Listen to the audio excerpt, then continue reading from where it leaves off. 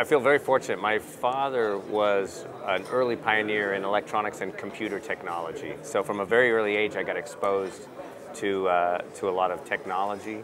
Um, when I was young, I had, we had one of the first Apple II uh, computers and started, you know, when I was young, just programming and things like that in the, the 70s. And at the same time, my mother's side of the family, my mother is from Vienna. She's a very musical family. So music was always a very big, important part of, of my life. So music and technology, from as early as I can remember, was uh, a huge interest. And I, I uh, saved up and bought my first synthesizer when I was 12 years old and started experimenting with it and taking it apart. And um, the, one of the best motivations to learn electronics is when you're young and you take something apart and then it doesn't work anymore. Then you have great motivation to learn because now, now I had a synthesizer that was worthless. So I started studying and, and experimenting and really you could say both music and technology was a passion and a hobby that just happened to become my career. It's a little funny story because the origin had nothing to do with it ever becoming a company name. We actually started our company way back in 1985 as a consulting company, and we were called Fast Forward Designs. And we were known because we were a company that worked behind the scenes in developing products for other industries. I'm sorry, for other companies in this industry. We designed over 40 products for Alesis, including the ADAT and Quadraverb, and products for DigiDesign and a number of other companies. And um, just enjoyed uh, you know, innovating in a lot of areas. But when we wanted to start doing the research into guitar modeling, we, we weren't sure what it might become. So we wanted to just have it be a little secret project until we saw how it could develop. Now, of course, when we started investigating classic tube amps, especially early ones that had no master volume, if you really want to do measurements and analysis of, of high gain sounds, there's no other way but to turn an amp up very loud. so that meant at our little office, there was often loud guitar playing going on, which if you didn't know what we were working on wouldn't make a lot of sense, since at that time we were working on, again, effects processors, drum machines, keyboards, and so on. So we decided it'd be best if we stopped playing guitar when any of our clients would come visit us. So Fast Forward Designs had five phone lines. So we decided if we saw someone coming from uh, maybe one of our clients, the receptionist should get on the PA in the office to tell us that we had a phone call on line six, which was really just a code to say, time to put away the guitars, get back to work, um, so that we don't raise any suspicion about why we'd be playing loud guitars all the time. so it was just a code name, um, and uh, when much later we actually developed something we thought could be a real product, we knew we needed to have a company name. And uh, our initial goal when we started trying to think of a name was uh, I wanted it to be two syllables, and I didn't want it to necessarily mean something directly to the company. Some of the companies I admired so much, like Apple, Roland, Sony, are names that what they mean is what it means to you based on your experience with these great products. Um, and two syllables is easier to say. Fast Forward Designs was a pretty long name. And uh, it's kind of hard, like naming a band, to come up with a name. We tried all kinds of ideas, and, and finally, uh, Susan Wolf, one of the co-founders, just said, well, why not Line 6? And we realized it seemed like a perfect fit for uh, what we were doing. And that's how the name came about. I think in almost any area, there's always skeptics about how technology evolves. And I think you know, personally, I uh, it doesn't bother me in that I think for any musician, they really should find the tools that serve them best. And if you have a 30-year-old guitar amplifier and guitar, and you get the best sounds you, and all the sounds you ever wanted, you don't need any new technology, and that's fine. But um, some guitarists, uh, as a result, don't take the opportunity to learn what might be possible and then they're just limiting themselves because as technology evolves, there it opens up so many doors creatively. And you know, often people forget that the, the legends that we all admire Jimi Hendrix or Jimmy Page, they, they were pioneers using very new technology because all the gear that we consider classic today was new then. And they invented new sounds and, and created so many things that we love today because they were open to new technology.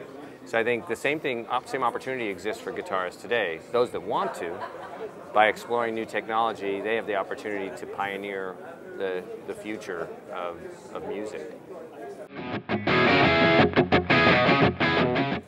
Well, my career um, in developing products, um, I've always tried to use technology to fill a real need for musicians. And in my early days, um, since I'm originally a keyboard player, that centered around synthesizers and then recording and signal processors. And I was, you know, making tools for, for a range of musicians. And all of technology by the 90s was evolving to where a keyboard player could get any sound they wanted at the touch of a button. Plugins were starting, so producers and recording engineers could do almost anything they wanted. Yet guitar players were still stuck with having to just have the limitations of the specific gear they had, and when they wanted new sounds, they typically had to buy new gear, reconfigure it, get new amps, mic things up differently, and so on. So it was a very, uh, you could get great tones, but it was a very cumbersome prod, uh, process. And for some people, it was just too expensive as well. So really felt there was a need there, that it would be really inspiring if guitar players could also be able to get any sound they wanted much more quickly so they could focus more on music instead of having to always focus on the gear.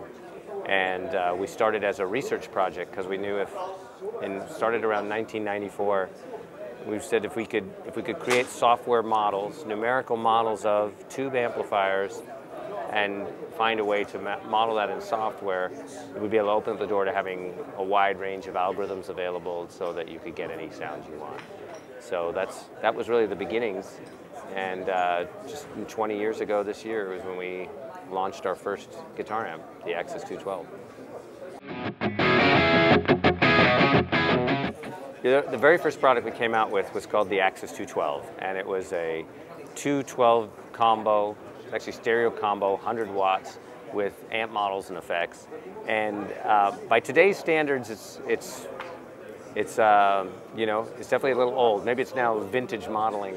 Um, and uh, some would accuse me of having uh, designed something. It looks like a guitar amp designed by a keyboard player. It's not uh, not the most friendly product, but it was the first of a modeling amplifier. And I think what was exciting about it is we had so many people interested because there was a large group of guitarists who really saw the potential for what this could mean. But like any technology, whether it be you know the first digital cameras, um, you know they, they show potential, but they're not necessarily uh, able to deliver everything that you might want. So what's been crucial in this 20 years is that we never feel that we are finished. Every generation of, of modeler or effect or then the modeling guitars, we continue to improve. We get better and better processing and um, better algorithms so that we can create the best tones possible. But uh, over those 20 years, certainly landmarks that were really important to us. Um, the first pod came out at the very end of 1998, and I think that's, for many people, how they first got introduced to Line 6 because it enabled so many people to be able to record guitar so much more easily than they could before. The DL4 delay pedal which uh, most most guitarists just call the green pedal, has been uh, really great. Still used by so many professional guitarists today. Uh, the Variax um, has really opened a lot of doors for a lot of musicians, um, and it's hard it's hard to pick a favorite. There's been so many really uh, exciting products we've had a chance to, to work on over the 20 years. But uh, we're, we're still not done. Being a, being a part of Yamaha has really opened up a whole new exciting chapter for Line 6. I'm, one of the reasons that we decided to become a part of Yamaha is we saw how passionate uh, Yamaha is for music. It's unusual to have a company that's so big still really understand their core purpose and how important music is to the world. And when we realized how much we share the same passions, and we realized how much Yamaha wanted to keep Line 6 and its innovation spirit alive, that it was really about Line 6 staying Line 6, but also being able to be a partner with Yamaha and share our expertise and learn from each other, we realized that really opened up a great opportunity for us going forward. So um, it means that we get, get uh, you know, access to a lot more uh, great minds and get to collaborate on more ideas. Um, so far that's shown up in the Variax standard, being able to utilize Yamaha's great strength in making high quality and yet affordable uh, instruments combined with our technology. And uh, there's lots more fun we hope to, to share in the future in, in different ways that Yamaha and Line 6 can collaborate.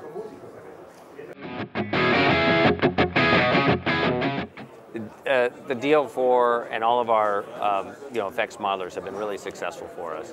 I think, um, and, and we have a great interest in effects as well. You could say that the Line 6 products, uh, the processors are kind of divided into two categories. There's the products that, if you want to, could be your entire rig. So they include amp modeling, all of the effects, cabinets, microphones, and so on. And you know, up to our, our flagship now, the Helix. And then there's the, the products that are more specifically intended to incorporate into just whatever you whatever else you might want to do. So the DL4 delay modeler, also all the M series effects. Um, and we're interested in, in doing both. You could say the Helix kind of lives in actually in both categories because we really set out to make Helix something that if you want could be everything you need, but also really can incorporate into any setup you want. You've got effects, four effects loops you can program, you can switch your amp channels, you could even mic your, your tube amps cabinet and bring it back into Helix. Um, but uh, we continue to explore in both areas and uh, uh, continue, we'll continue to make more products to serve, serve both needs. But we also will continue to make the DL4 and the, the M series effects for as, long as people like them because they, these have now kind of become classics of their own. So uh, we're very happy to keep making those.